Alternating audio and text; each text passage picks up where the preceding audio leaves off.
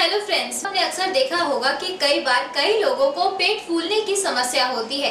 कई बार ये ज़्यादा खाने की वजह से होता है तो कई बार गैस की वजह से हो जाता है। जब हमारे पेट में कब्ज की या फिर एसिडिटी की समस्या होती है तो उसकी वजह से पेट फूलना काफ़ी ज़्यादा हो जाता है।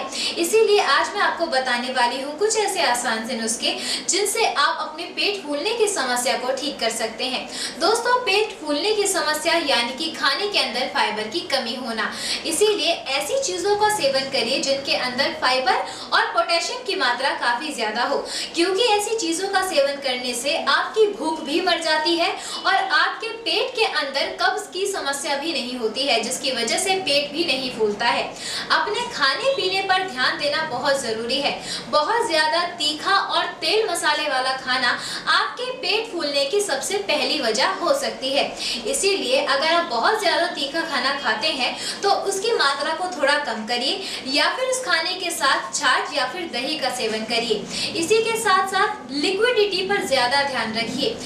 पानी का सेवन ज़्यादा से ज़्यादा करिए और फ्रूट्स का सेवन भी ज़्यादा से ज़्यादा करिए।